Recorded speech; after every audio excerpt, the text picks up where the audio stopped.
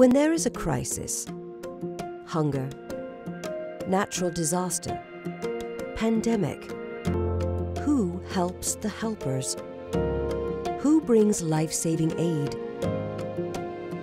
For over a decade, the world's largest transportation companies have united together as the Logistics Emergency Team to support the logistics cluster. Led by the World Food Programme, we are providing pro bono humanitarian aid logistics deploying to large-scale natural disaster sites.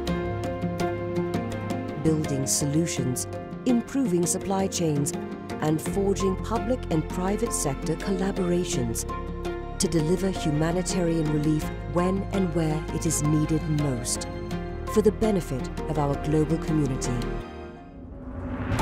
Because after this crisis is answered, another will follow. Vulnerable lives will hang in the balance, so we look to fellow global logistics companies to lend their expertise, personnel, and networks, and join us on our mission to help the helpers save lives.